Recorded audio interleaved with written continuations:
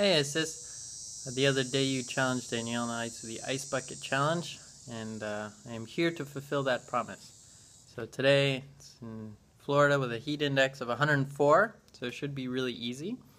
Unfortunately, you have either the best timing or the worst timing because both Danielle and I are sick.